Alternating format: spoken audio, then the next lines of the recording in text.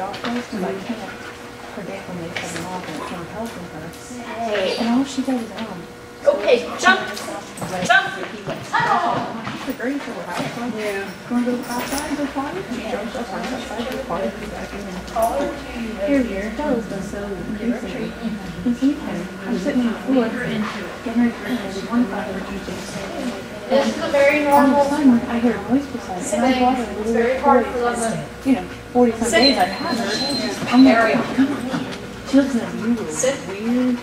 Oh, oh her, she's throwing. Stay. Hey, Ariel. Oh, I'm like trying to slowly reach the inside of the still. And now she's walking around the house, sitting in different areas house. Stay. They had big bones. She had to pull the one up or was chewing on it. And- So I think the pills are helping. Okay, jump. Jump. edge off. What is Ariel. Ariel, Ariel.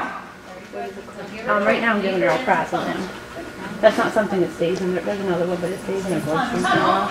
This one, when you take her off after 12 hours, she's done.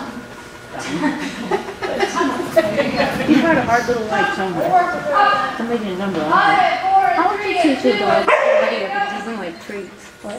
How would you teach a dog agility if it don't care about treats? Uh, Nikki very fond of toys. Ariel.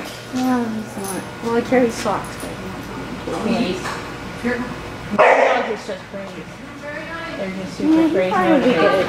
Like him, if I tell him no in any way, hears the door, he shuts down because me with what he did he's the wolf. And if I, even if I say anything, like he did it wrong, I don't even say anything. He still knows he did it wrong. He'll shut down. Like when we do obstacle discrimination, if I say cut on, he takes it, he still just yes every time because he needs that positive feedback.